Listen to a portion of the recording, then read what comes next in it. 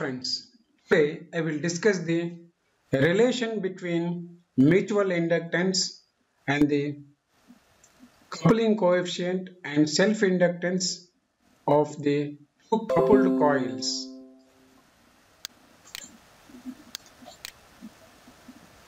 Here, this is coil 1 and whose self-inductance is L1 and this is coil 2 whose self-inductance is L2. L1 carries a current called I1 and whereas L2 carries a current called I2 in these directions. And both are magnetically coupled and they have the dots here, this here and here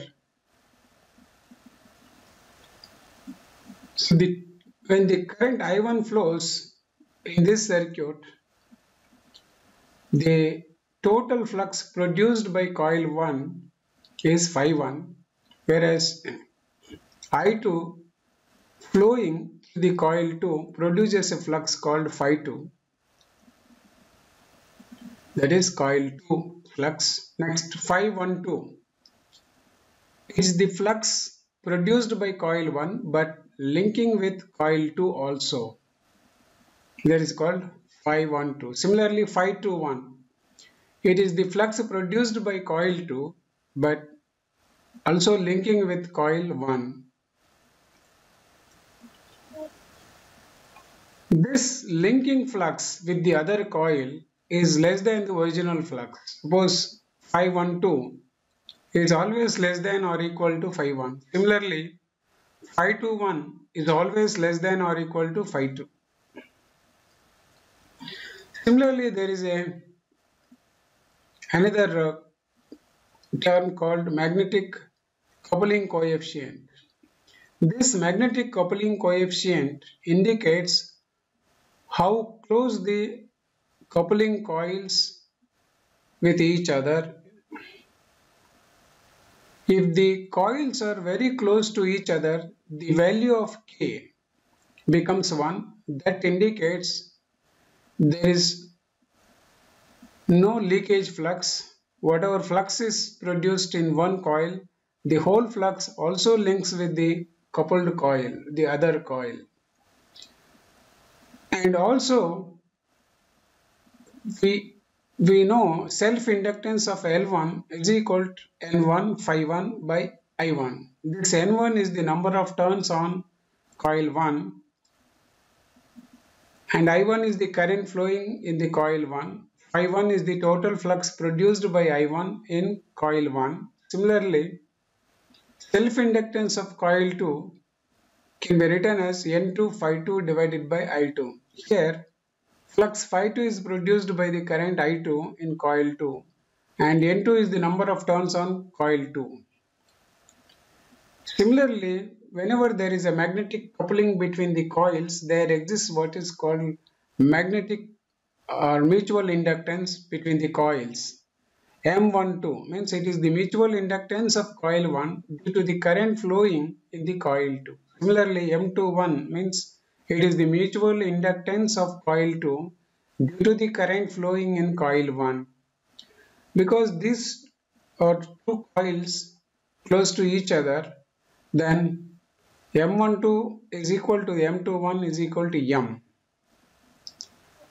And the magnetic coupling coefficient can be written as or defined as K is equal to phi 12 divided by phi 1 which also equal to the phi 21 divided by phi 2. And from this, phi 1 2 can be written in terms of phi 1 like this, k into phi 1. Similarly, phi 2 1 can be written as k into phi 2. And the mutual inductance, mutual inductance M21, which can also be said, said equal to M, is equal to N2 divided by I1 into phi 1 2. So in place of phi 1 2, replace with k into phi 1, then equation becomes M21 is equal to N2 into k phi 1 divided by I1. Similarly, M12 which is also equal to the mutual inductance M is equal to N1 phi to 1 by I2. So this phi to 1 can be replaced with K into phi 2. Then the equation M12 becomes N1 K into phi 1 2 by I2.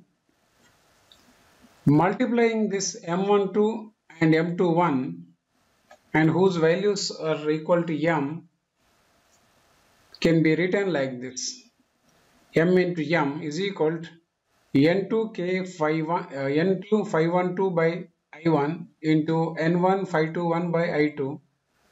So replacing this with this that is N2 K phi 1 divided by I1. Next this M can be written as N1 K into phi 1 2 divided by I2. Once it is further simplified, m square is equal to k square into n1 phi 1 by i1 into n2 phi 2 by i2. This n1 phi 1 by i1 is nothing but self-inductance of coil 1 L1 whereas n2 phi 2 divided by i2 is the self-inductance of coil 2 that is L2. So from this it can be observed that m square is equal to k square into L1 L2.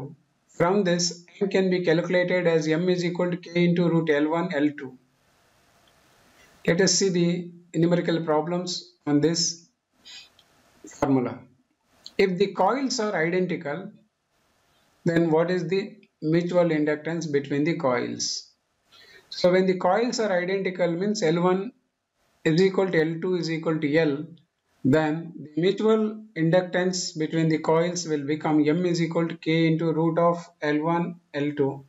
So here L1 L2 means L into L so L square. So M becomes K into L. Similarly if the coils are identical and K is 1 then it can be written as like this L1 is equal to L2 is equal to L K is equal to 1 and we know the formula M is equal to K root L1 L2 so m is equal to k is 1 and then root L1 L2 means L into L, L square. So then we get here in place of K1 and root of L square means L. So this indicates mutual inductance is equal to the self-inductance for the two identical coils provided the coupling coefficient is unity. Here it can be observed phi 1 is the total flux produced by the coil 1 but part of this will also link with the coil 2 that is called phi 1 2 like this. Similarly phi 2 means it is the total flux produced by I2 in the coil 2 and part of this is linked with the coil 1 that is phi 2 1.